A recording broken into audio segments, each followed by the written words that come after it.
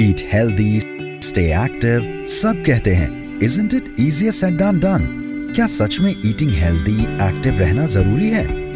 Small lifestyle changes करना choosing to choose better ज़रूरी है।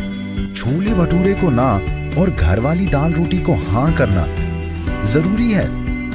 वो सुबह सुबह अलार्म को स्नूज ना करना।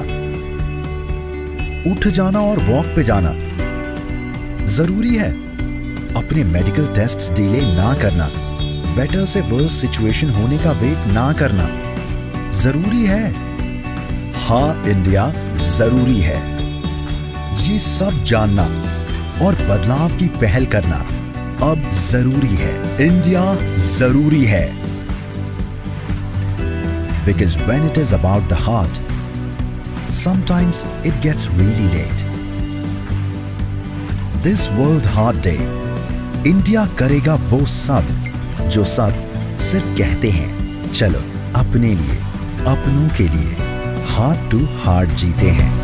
डॉक्टर मॉपर, हेल्थ इन योर हैंड्स।